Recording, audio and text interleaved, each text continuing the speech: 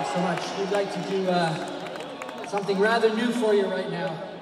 A couple of songs we're going to play tonight that are going to be on our next album, which we will finish one of these days, hopefully before Christmas sometime. Anyway, this one's called Be You To Be.